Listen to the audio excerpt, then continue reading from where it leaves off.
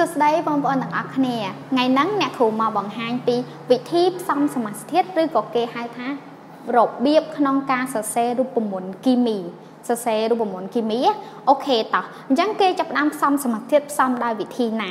ដឹងអត់អញ្ចឹងអ្នកគ្រូធ្លាប់ប្រាប់ហើយនៅក្នុងវីដេអូមុនមុនវិធីផ្សំសមាសធាតុយើងចង់ផ្សំសមាសធាតុបានលុះត្រាតែយើងចេះអីគេ ទី1ចេះឈ្មោះនិងនិមិត្តសញ្ញារបស់ធាតុ ទី2វ៉ាឡង់សំខាន់ខ្លាំងណាស់អញ្ចឹងដើម្បីផ្សំសមាសធាតុបានលុះត្រាតែអីគេ ទី1យើងចេះឈ្មោះនិងនិមិត្តសញ្ញារបស់ធាតុទី2និងវ៉ាឡង់តោះនេះអញ្ចឹងអ្នកគ្រូទៅសេកន្លែងនេះឲ្យ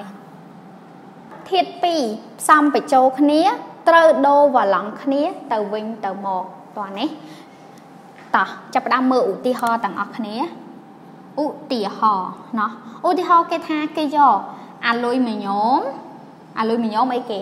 Al ថងអត់អាលុយមីញ៉ូមទៅផ្សំជាមួយនឹងផ្សំជាមួយអឺអុកស៊ីសែនចាស់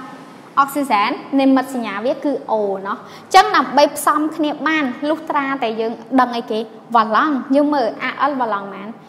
Al វ៉ាឡង់3 O វឡង់2ណោះ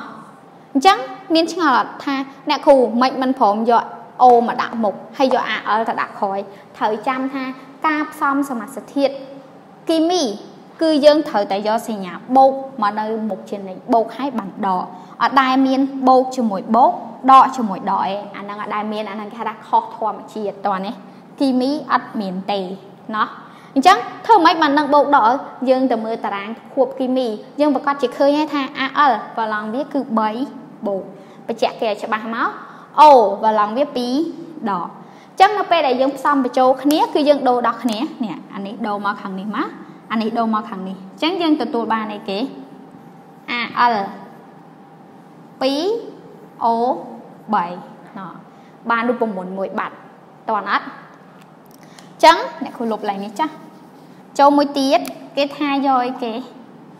អឺកាល់ស្យូម Ca ទៅផ្សំជាមួយនឹងផ្សំជាមួយ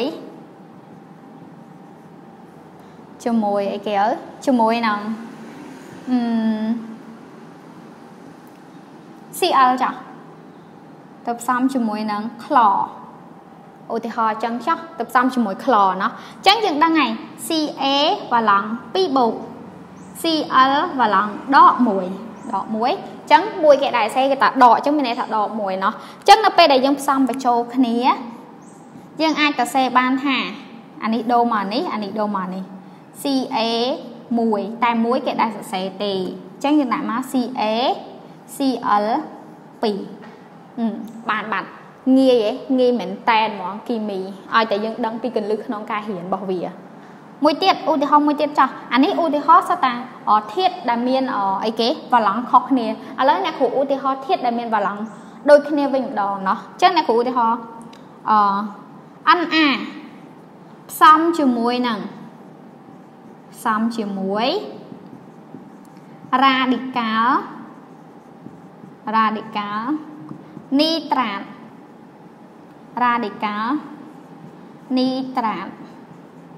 នីត្រាតដែលរូបមន្តវាគឺអីគេ NO3 វ៉ាឡង់ដក1ណោះអញ្ចឹងនៅពេលដែលយើងផ្សំយើងដឹងហើយ Na វ៉ាឡង់1 NO3 វ៉ាឡង់ដក1អញ្ចឹងយើងមើល1 1ស្មើគ្នាស្រាប់អញ្ចឹងទូទាត់ទៅវាឃើញ0ណែអញ្ចឹងយើងបានមកមកអីគេ Na NO3 អឺ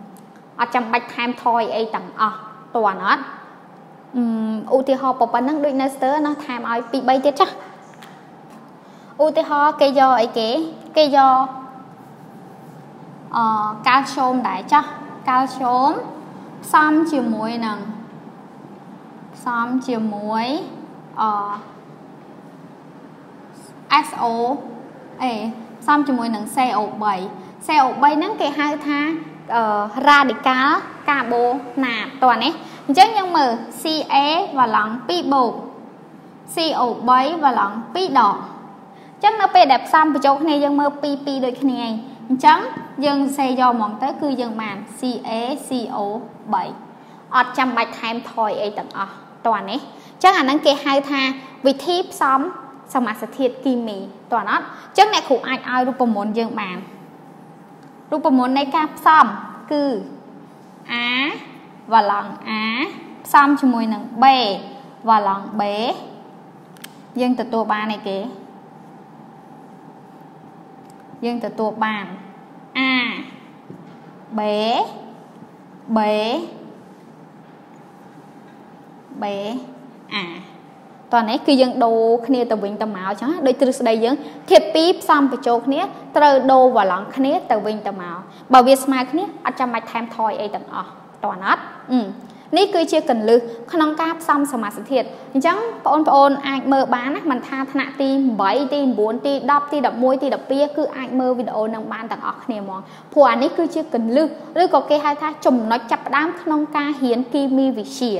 តោះនេះ ចឹងបើបងប្អូនមានចម្ងល់អីឬក៏អត់ទាន់ច្បាស់ថងណាបងប្អូនអាចខមមិនសួរនៅខាងក្រោមវីដេអូបានចាអរគុណជំរាបលា